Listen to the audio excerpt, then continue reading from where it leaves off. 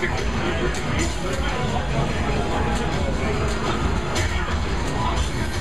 you.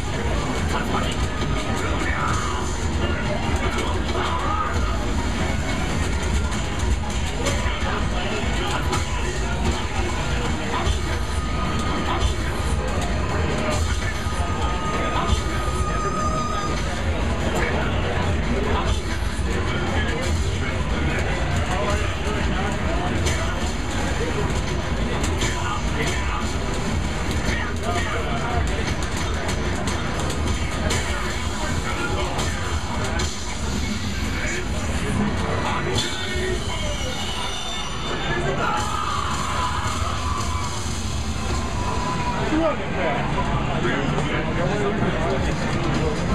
the button of the century.